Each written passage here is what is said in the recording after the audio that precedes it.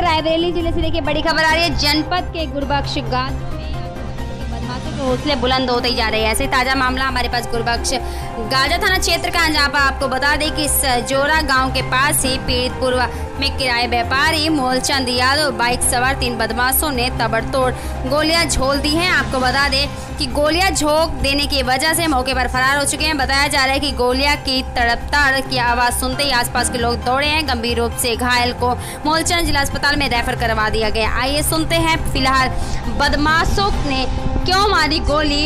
और अभी तक इसका कुछ भी खुलासा नहीं हुआ जाँच पड़ताल जारी है। आइए सुनते हैं पीड़ित का बयान। प्राइम ब्रेकिंग न्यूज़ चैनल के लिए रायबरेली से राम भवन की खास रिपोर्ट। हम पंडितपुरा ग्राम पंडितपुरा पोस्ट सहजोरा थाना गुरुबकसगंज वहाँ के रहने वाले हैं। कौन है जिसको गोली लगी? कैसे? ये हमारे बड़े भाई हैं। दरवाजे पे हमारे मतलब घर ही पे दुकान है मेन रोड पे घर है। और वहीं पे हमारी दुकान है। तो वहीं पे भैया बैठे थे। तो तीन बाइक आए। तीन बाइक में, हर बाइक में तीन तीन आदमी सवार थे। तो एक बाइक में रुके, दो लोग उतरे।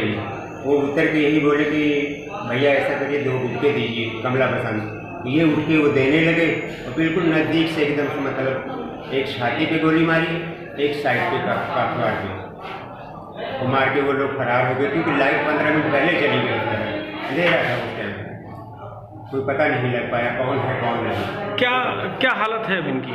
उनकी हालत अभी तक अनमोल यादव नाम का patient fifty five years age का गुरबगंज थाने से हमारे पास रेफर होकर आया है।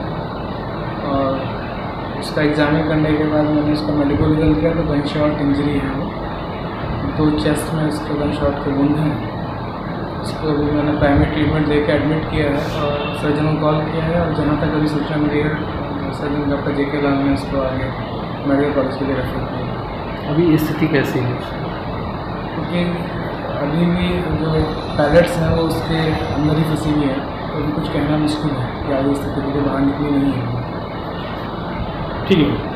लेटेस्ट न्यूज़ देखने के लिए प्राइम ब्रेकिंग न्यूज़ चैनल को सब्सक्राइब करना ना भूलें और साथ ही डेली अपडेट्स पाने के लिए बेल आइकन को